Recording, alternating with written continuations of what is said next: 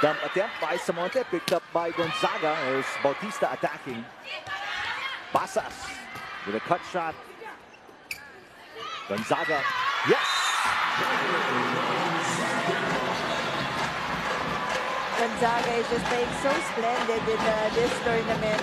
Uh, playing together uh, with a good record so far in the eliminations. Gonzaga. Oh, once again, Dominic Gonzaga just killing that one.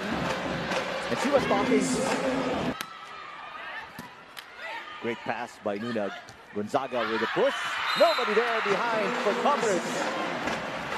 Just with the right amount of power, Gonzaga getting that pass right as we take a look at it once more.